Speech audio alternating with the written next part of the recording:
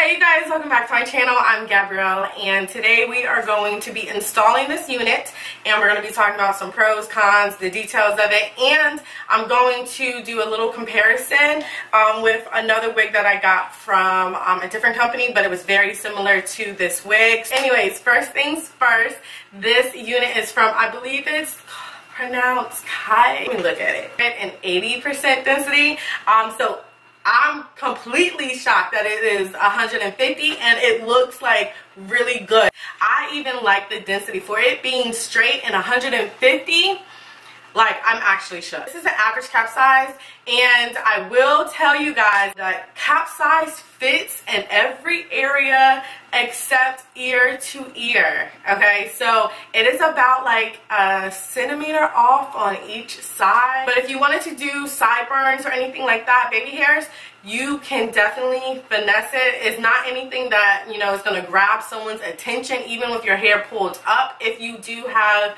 um, your baby hair sideburns down.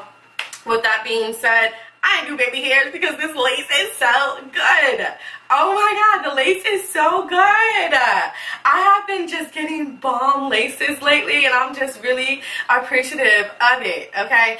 So um, I did not do baby hairs, but the lace is just a tad bit lighter um, than you know what I'm comfortable like blending in with my skin tone. I definitely had to finesse it. I had to put some of my foundation powder. I did end up plucking the hairline, of course, and then I put my concealer in the parting space, and then I went ahead and trimmed my bangs. So the hair feels super soft. It is, it feels like it's light, it's airy.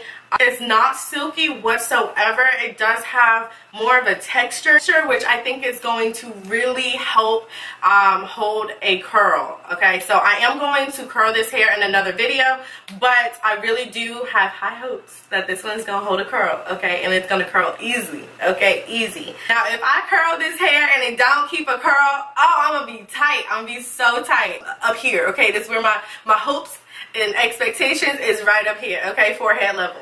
I also really like how the highlights are all in the crown area going all the way to the back and it's not just like the peekaboo highlights that come like on the side of your hairline and then right at the front like right um, here. That's about all I have to say. I hope you guys are enjoying this video and don't forget to like, comment, and subscribe and I will check you guys out in my next one. Bye!